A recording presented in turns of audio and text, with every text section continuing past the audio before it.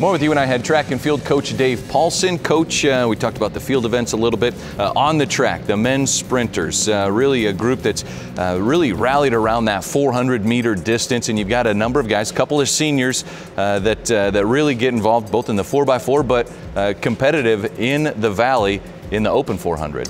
Yeah, that long sprint crew is, is really uh, done a really nice job for us. I think we have uh, five guys in the top six uh, in the conference right now.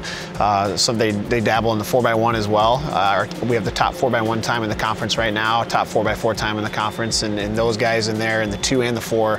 And so it's, it's been nice. And so you got seniors Evan Long, who's leading the conference in the 400. He's sitting second in the 200. Uh, Corey Hertz, who's never missed a final in the 400 in his entire career here at Northern Iowa. And you throw Sven Vandenberg in there, Connor Blau, and Bryce Newcomb, who's another senior, and you have a really outstanding group of five guys that give us a lot of depth and a lot of energy in the sprints. We've got a, we had a story earlier in the show on Cole Phillips, him and Connor Ham in the 110 hurdles.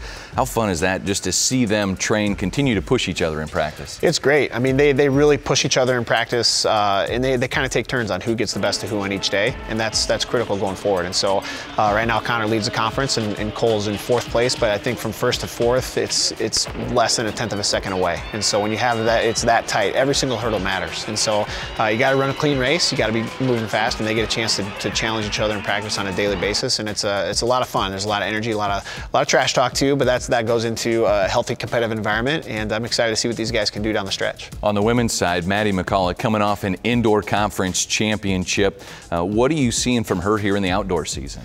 Well, she's just she's she's getting more consistent as we go, and so it's um, you know she's she's looking like she's building in the right direction as we head down uh, the last couple weeks of the season, and that's what she did indoors, you know, and so she didn't really hit it hit it until the conference meet, which is fine because that's when you want to be at your best, and I think she's in a really good position to do the same thing here outdoors.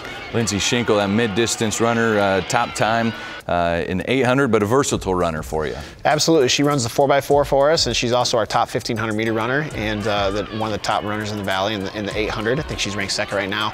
And so she just the versatility she brings and, and the ability to step in any role we need her to has, has really helped us as a team having someone that you can rely on in a lot of different areas. All right, as we uh, uh, have more with Coach Paulsen coming up later in our show as we preview the MVC Championships. Right now, here's the story on a discus thrower for the Panthers, Jessica Himes.